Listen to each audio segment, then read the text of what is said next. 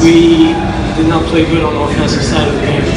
Uh, now I'm looking at the scores of all each periods and everything. We played good defense, but offensively we couldn't capitalize on our on our strengths, especially missing 15 free throws was a big time disadvantage for us, and that's pretty pretty much it.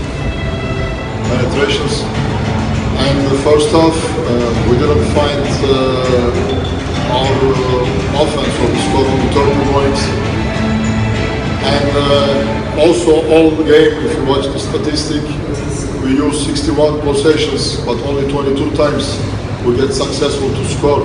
So it's too low percentage uh, for us. And uh, some of our key players in offense, Bobby made very uh, bad game tonight, 8-0 on the field goals. And the young guy, our for it, he made 7-1 in the field goals.